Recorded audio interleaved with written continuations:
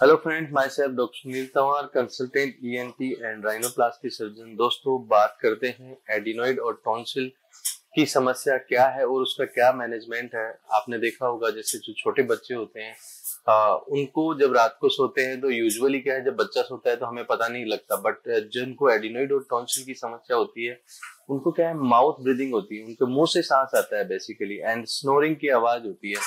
And बहुत बार year के, बच्चे के ईयर के अंदर भी बार बार पेन होता है। तो ये जो एडिनोइड और टॉन्सिल वैसे सबको होते हैं but after the age of four year चार साल के बाद वो क्या है, खत्म हो जाते हैं। हमें पता भी नहीं लगता कब आए, कब खत्म। कुछ बच्चे जिनको एडिनोइड और टॉन्सिल जो है, वो श्रिंक नहीं होते, खत्म नहीं होते तो जब बच्चा रात को सोता है तो उनके नोज़ के पीछे के हिस्से में वो उसको पूरा ब्लॉक कर लेते हैं। और बच्चे को माउथ ब्रीदिंग होती है, उसको क्या स्नोरिंग होता है। और उसके कारण बच्चे की जो है डेंटल स्ट्रक्चर चेंज हो जाती है उसको बहुत बार क्या होता है कि उसका जितना भी जो बच्चा को कितना भी खिलाए पिलाए, उसका सेकेंडरी डेवलपमेंट नहीं होता। और ईयर और नोज़ के बीच की जो ट्यूब है यूस्टिकन ट्यूब जिसको हम बोलते हैं, उसको भी वो ब्लॉक करने के कारण बच्चे को सुनाई कम देता है। बच्चे को बार बार कान में दर्द होता है एंड बच्चे की लैक ऑफ़ कंसंट्रेशन भी होता है स्टडी वगैरह में।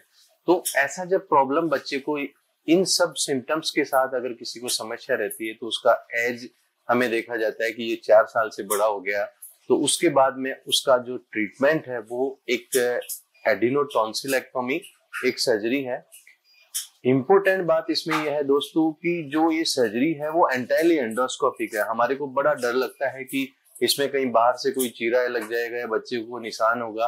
जैसे अब आपको इसमें मैं बताता हूँ अभी बेसिकली ये पूरा नोज़ से एक टेलीस्कोप डाल के और जो एडिनोइड्स हैं, वो जैसे अभी मॉनिटर पे आप देखो जैसे ये नोज़ है, इस नोज़ में हमने एक टेलीस्कोप डाला एंडोस्कोप डाला और ये जो नोज़ के पीछे के हिस्से में जो इसको अगर हम ये नोज़ है, इस नोज़ के हिस्से में हम पीछे जा रहे हैं तो इसमें क्या है कि ये जो हमारा एडिनोइड टिश्यू है, जो ये इतना सारा जो टिश्यू है, ये हमारा सांस के रास्ते को ब्लॉक करता है, जिसको हम एडिनोइड्स बोलते हैं। दूसरा, इसमें आप अभी देखो, जैसे टॉन्सिल देखना आपको, जैसे टॉन्सिल का जो ये ये जो है, ये टॉन्सिल है, जो बड़े बड़े जो है, ये टॉन्सिल क्या करते हैं, ये दोनों जब है, सांस के जो रास्ता है, उसको पूरा ब्लॉक कर लेते हैं। सो, ये एडिनोइड और टॉन्सिल, इसका एंडोस्कोपिक मैनेजमेंट होता है, हार्डली वन आवर का एक प्रोसीजर होता है, एंड उसके बाद में दूसरे दिन बच्चे को डिस्चार्ज किया जाता है। ये लाइफ लॉन्ग प्रोसीजर है। बहुत सारे लोगों के मिथ होता है कि सर ये वापस हो जाता है, ये वापस नहीं होता। एंड ये इसका तरीका होता है। अंडर एनास्थीसिया इसको किया जाता है। एंड इसमें बच्चे को कहीं पेन या कोई बाहर से चीर फाट टाका पट्टी ऐसा दर्द निशान नहीं होता। सो so, बेसिकली अगर हमारे किसी बच्चे को ये प्रॉब्लम है you just consult to the doctor जिससे क्या है आगे उसके दुष्परिणाम नहीं हो सके। Thank you